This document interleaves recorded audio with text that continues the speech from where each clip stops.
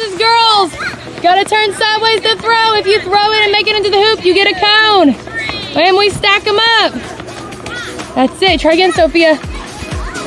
Keep going, keep going.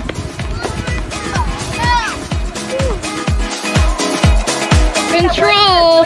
Trying to hit the tennis balls into the trash can.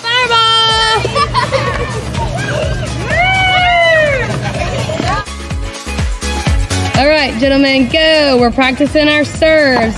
Working on vertical, going up to get it. Again, try it again. Set your feet. Good.